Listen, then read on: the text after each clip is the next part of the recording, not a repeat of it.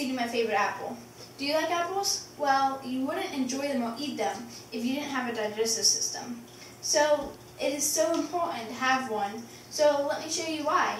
You need a digestive system. It's the most important system because it fuels all other systems. Without it, nothing else functions. If you didn't have a digestive system, basically you would die.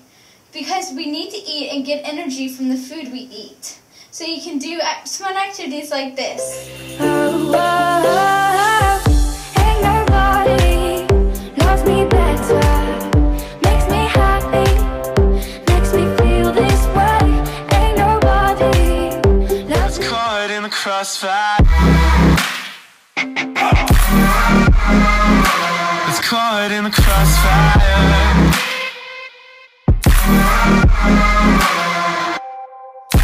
Me show you all the organs that are in the digestive system, beginning with the mouth.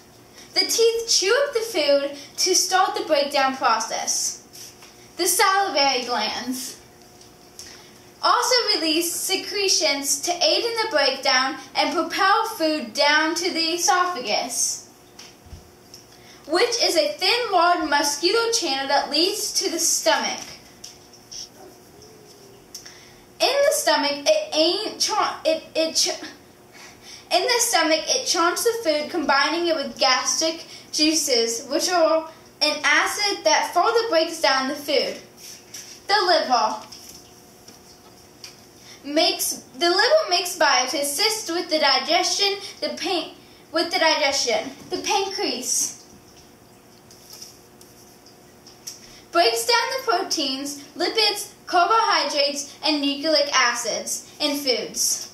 Then we go on to the small intestines, right in the middle, which absorbs 90% of the nutrients from the food we eat. And a fun fact about this organ in the digestive system is that it is around 20 feet in length. Wow! That is almost as long as a tractor trailer. And it's all in here. Wow! The digestive system is really cool and important. The final trip of the digestive tract is into the large intestines, right around the small intestine. It absorbs the water to harden the food. Don't pause it. It hardens. It absorbs the water to harden the food waste product. I Talk to you guys about the awesome organs involved in the digestive system. Let me show you how all these organs, parts, come together as a team and make our body run. It's really fun stuff. It's really fun stuff.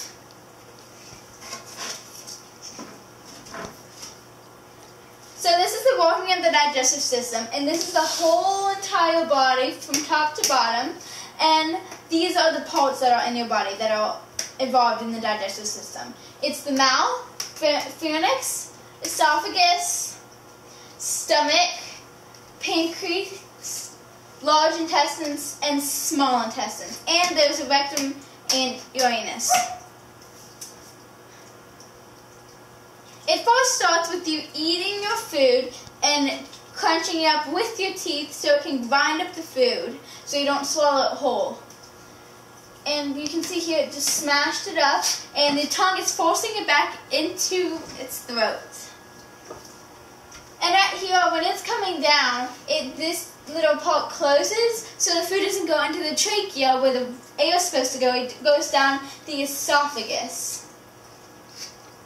So it's going down the esophagus right now, and it is going to go down into the stomach, which is filled with acids that crunches up the food, and it makes it easier to like break down the food and stuff. So you can hear it comes apart right there, and this is called chyme.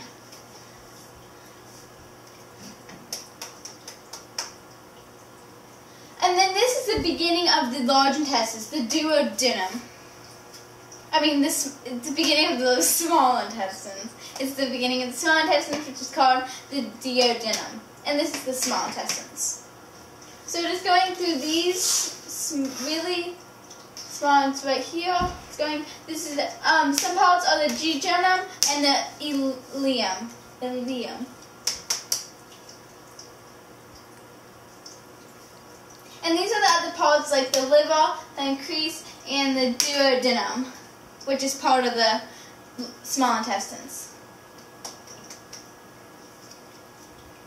And then this is where all the nutrients, the red blood cells like, yummy, yummy, I get nutrients. Like carrots, nutrients is a lot of carrots. Carrots have a lot of nutrients. And this is going into the large intestines, or the colon. So it, is, it kind of like surrounds the small intestines. And these are some good facts about the large intestines.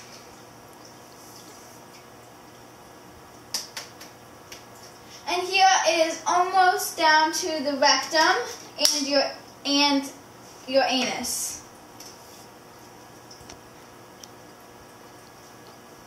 And this is the full video of the digestion action that's going on in your body every single day when you eat food. And that's the video. A disease that has to do with the digestive system is ulcerative colitis which is an ongoing disease that affects the colon and rectum. The inner lining of the large intestine becomes inflamed and ulcers could form on the surface.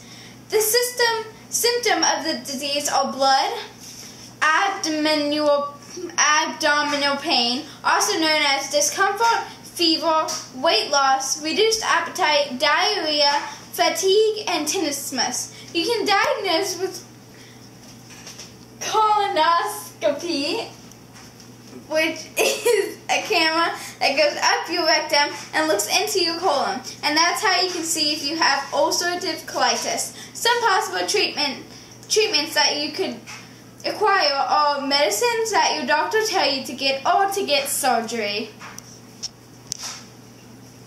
And then the four types of ulcerative colitis and associated symptoms are the ulcerative proctitis, and that's the disease in your rectum.